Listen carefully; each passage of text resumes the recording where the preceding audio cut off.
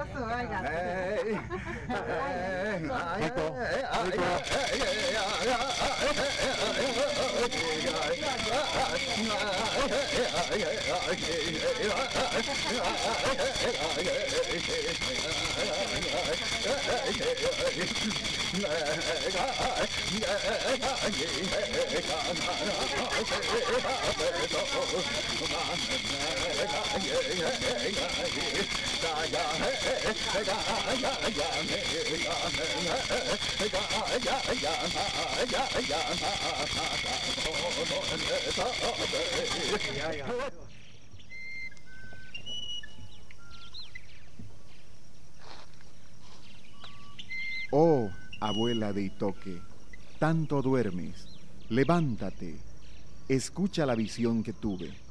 No he dormido bien esta noche. Qué pena he tenido esta noche. Cada rato me despertaba, escuchando que golpeaban una cabeza. Te digo que ese golpe que escuchaba era uno de nosotros, uno de nuestros chamanes. Eso quiere decir que los blancos nos matarán nos matarán a todos nosotros que habitan por el naciente. Alcé la vista y vi un pueblo grande de los blancos. También vi una macana pintada, yaciente en el suelo. Esto quiere decir que la gente blanca matará, matará a nosotros en el futuro. Traté de levantarme, pero no pude. Y así sobre el suelo.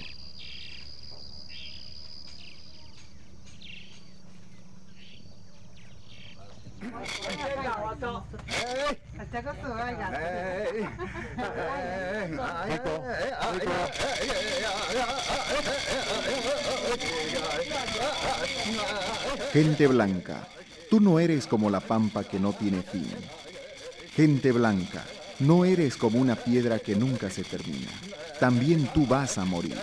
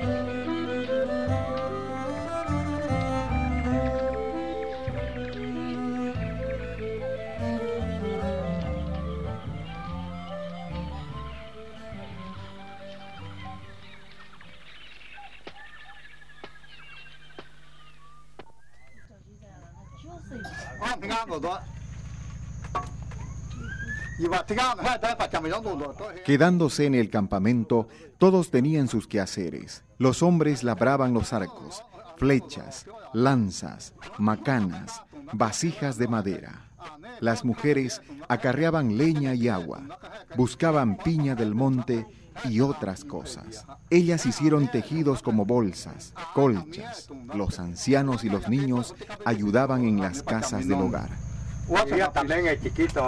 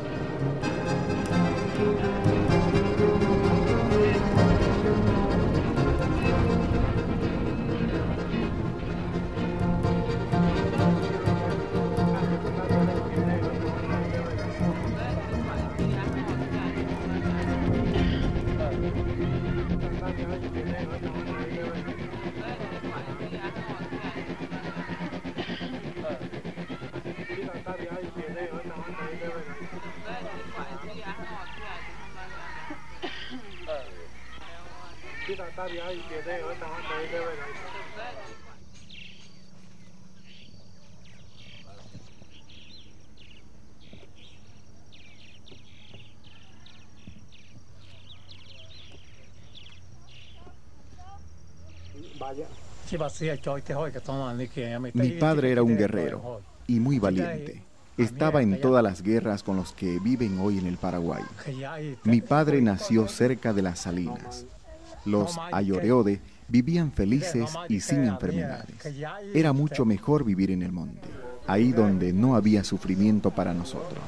Y cuando salió mi padre de la selva, murió de la civilización, murió de la gripe en esta comunidad de Zapocó. Para mí, ahora es bueno vivir acá en la civilización con los blancos, los inútiles, aunque era mucho mejor vivir en la selva, donde no había sufrimiento. Estando acá con los blancos, ya nos parecemos a los cognoñ, los blancos, pero la vida en la selva era mejor, porque éramos libres.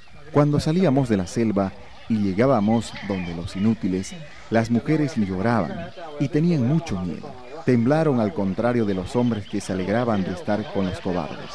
Tenían tantas cosas los blancos que nos alegrábamos. Cuando vimos a los hombres blancos por primera vez, las mujeres gritaron. Tenían miedo ya que nunca antes habían visto a hombres tan feos. Parecían caimanes. Esto eran sus ropas. Nosotros no llevamos ropa en el bosque. Por Dios, qué feo eran estos hombres. Y cuando el misionero se sacó luego los dientes postizos de la boca, gritamos todos, porque nunca hemos visto antes algo parecido. Pensábamos que era un hombre malo, un mago, porque nuestros ancianos no perdieron los dientes. Mi mamá tenía buena dentadura, era blanquísima aunque ella era anciana. Así era en el monte. La gente no se enfermaba.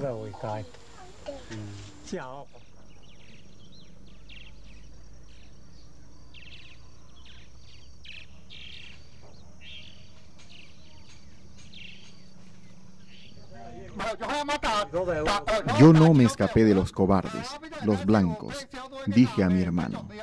Me presento a la lucha porque esto es nuestra tierra, nuestra sal, nuestra agua. Si salimos corriendo ahora, no vamos a volver a recuperarla. Yo me recuerdo muy bien de la vida en la selva. Ahí había miel en abundancia y muchos animales para cazar. No sufríamos de enfermedades, no sufríamos de hambre. Nuestro sufrimiento comenzó con la civilización cuando las enfermedades nos mataron y cuando la vida de la civilización comenzó a malograr nuestra gente joven.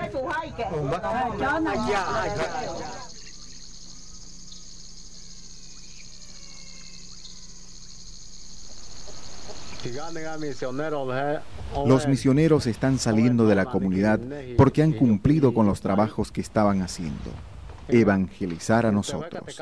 Traducción de la Biblia. El trabajo que están dejando está en los hombres y mujeres mayores de edad, pero en cambio, el mensaje de los misioneros no ha alcanzado a los jóvenes. No lo ha alcanzado por la siguiente razón. Porque los jóvenes han aprendido de los blancos. Ven que la gente blanca toma bebidas alcohólicas y ellos toman también. Ven los otros vicios de los blancos y los jóvenes lo hacen igual. Así, de esa manera, los jóvenes ya no quieren ver ni escuchar las enseñanzas de los misioneros. Así los jóvenes no mejorarán y vendrán otras generaciones después de los que jóvenes ahora y seguirán a los jóvenes de ahora.